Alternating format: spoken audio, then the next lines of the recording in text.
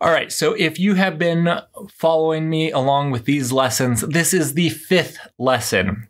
At this point, we have learned not only some of the history of the containers, we have learned everything up to building our own image, and you have just made the greatest image known to mankind. That being said, you want to share it because you're a great person and you share great things that you've made. Let's start sharing it.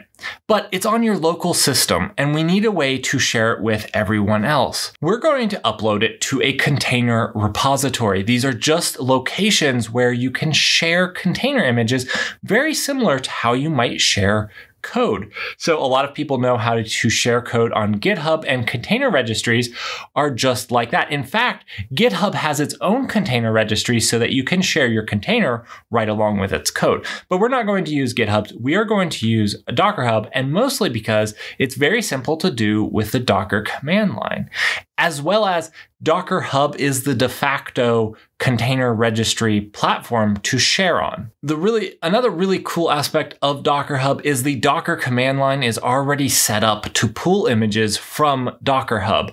So it just makes it really simple to share your images this way. All right, so we built our image. Let's go ahead and create a Docker account. Creating a Docker account is fairly easy. Just go to Docker Hub and create an account. Now, once you've created your account, we're going to log in with your new user on the command line. All you have to do is Docker login. Your username is actually your ID, then your email as your email, and hit return. At this point, it's going to prompt you for your super secret secure password. After you've entered that, you will have been logged in to Docker Hub. Now, one thing to note here, if this is a shared PC, .docker slash config.json will contain your uh, password, so be careful with that file.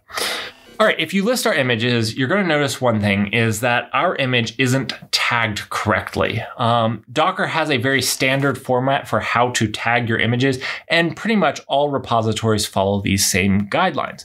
So basically, it's your Docker Hub ID slash your image name colon the tag. So most of the time tags are used for the version. So you'll see like v.1.0 or you'll see something like colon latest. Latest means that it's like the bleeding edge and it's not necessarily a tagged version yet. And Docker actually defaults to latest if you don't give it a tag version. So let's go ahead and tag our image. All you have to do to tag an image is get the image ID and you can run docker tag image ID and then the tag that you want to run. So in this, we will be the Docker Hub ID slash image name and then the tag. All right, so now that our image is tagged, let's check it out and we can run Docker images and see that our image is tagged properly.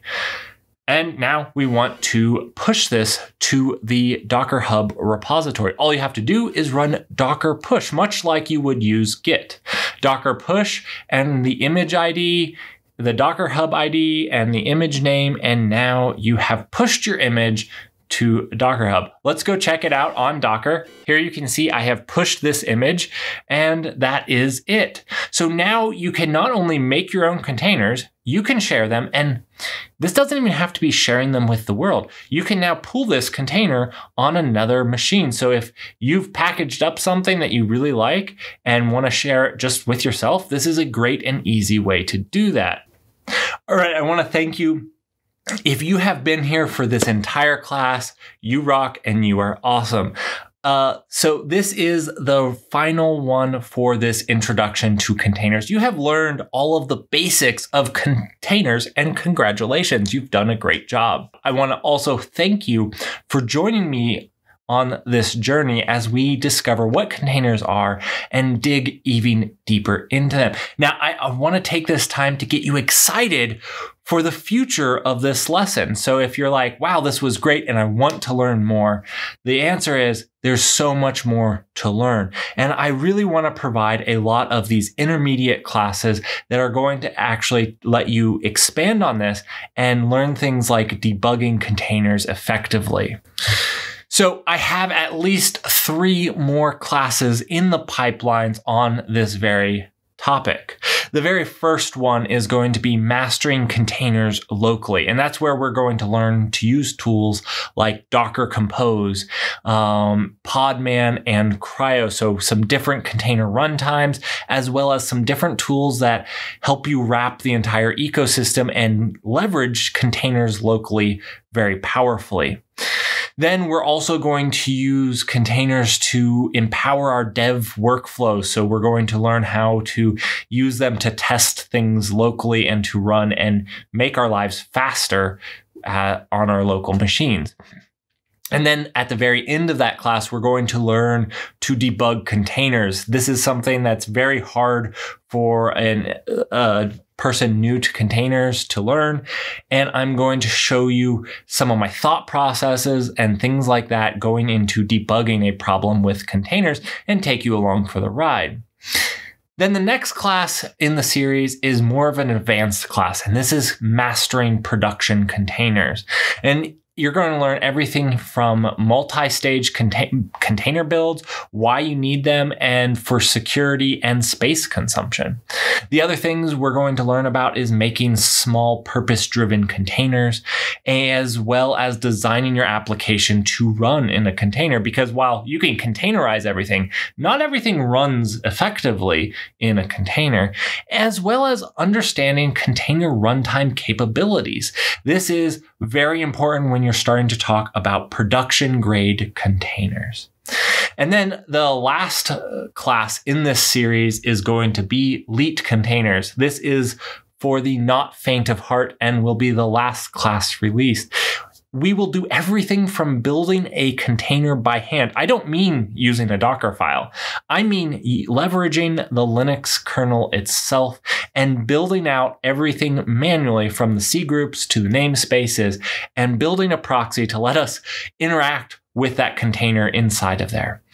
Not only will we do that, we'll dig into tools like runc and see how it builds OCI compliant containers and why things like Docker utilize runc. We're actually going to dig into how modern containers run, but not at a high level. We're going to get down and dirty into the guts of a container and the Linux kernel. So if those sound interesting to you, go ahead, tell your friends about this get some excitement going for it. And uh, I will be building those out for us in the future. That being said, I don't just plan on releasing classes on containers. I also have classes coming out on Kubernetes as well as Linux. So be watching for those if those are interesting to you. Now, I do want to give a really high level overview of everything that we learned in this class. Remember, containers look to solve a plethora of problems, not just isolation. VMs do a very good job at isolating. Containers help us with immutable infrastructure, repeatability, security, as well as scaling. Because of the immutable infrastructure and the ability to expand horizontally, they give you the ability to do all of these things at the same time as well as they enable you to do it quickly. VMs are much more bulky, require much more space, and are not nearly as fast to scale out and whatnot. All right, so that is it. I'm going to keep this outro to a minimum. I hope that you enjoyed it, and I hope to continue bringing you some fantastic classes on Kubernetes, containers, and computer science. Thanks for joining me, and I will see you in the next class.